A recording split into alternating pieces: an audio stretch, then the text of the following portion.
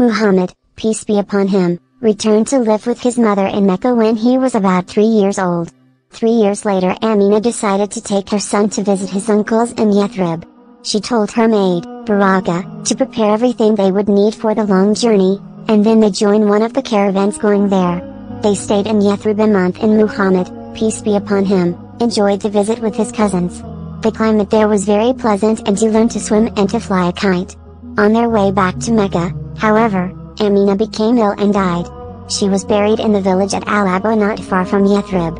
Muhammad, peace be upon him, returned sadly to Mecca with his mother's maid he was now six years old and had lost both his father and mother. He was then adopted by his grandfather, Abd al-Muttalib, who loved him dearly and kept him by his side at all times.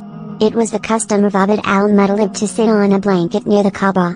There he was always surrounded by people who had come to speak to him. No one was allowed to sit on the blanket with him, however, except his grandson Muhammad, peace be upon him, which shows how close they were to each other. Many times Abd al-Muttalib was heard to say, this boy will be very important one day. Two years later Abd al-Muttalib became ill and Muhammad, peace be upon him, stayed by him constantly. Abd al-Muttalib told his son, Abu Talib, to adopt Muhammad, peace be upon him, after his death, which he did.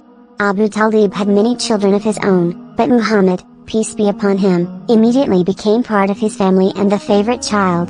The time came for Quraysh to prepare a caravan to go to Syria. Abu Talib was going with them and he took Muhammad, peace be upon him, along. It was Muhammad's first journey to the north. After days of travel, the caravan arrived at a place near Syria where the Romans used to come to trade with the Arabs. Near this marketplace lived a monk called Bahira. His cell had been used by generations of monks before him and contained ancient manuscripts. Bahira saw the caravan in the distance and was amazed to see that over it was a large white cloud. It was the only cloud in a clear blue sky and it appeared to be shading one of the travelers. The monk was even more surprised to see that the cloud seemed to follow the caravan but disappeared when the person it was shading sat down under a tree. Bahira knew from the scriptures that a prophet was expected to come after Jesus and it had been his wish to see this prophet before he died.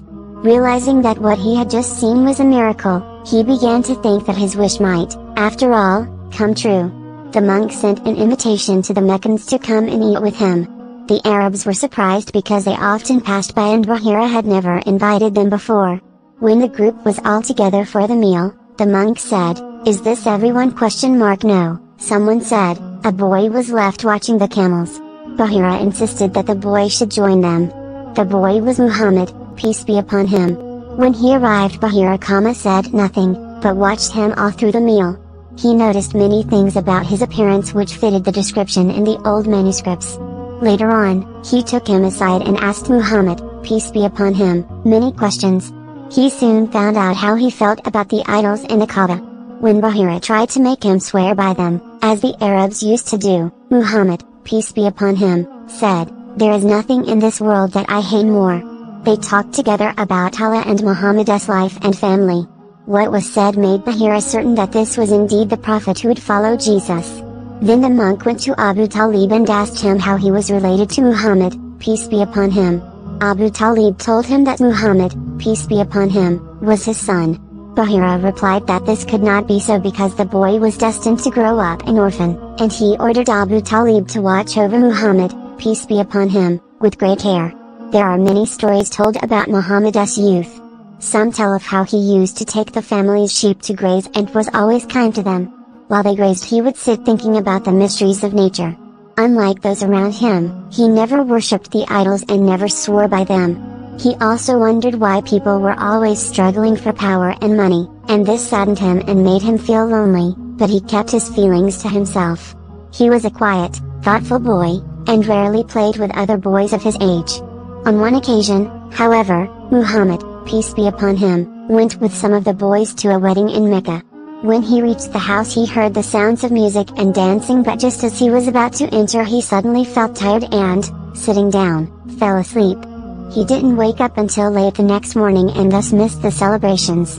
In this way Allah prevented him from doing anything foolish for he was keeping Muhammad, peace be upon him, for something much more important.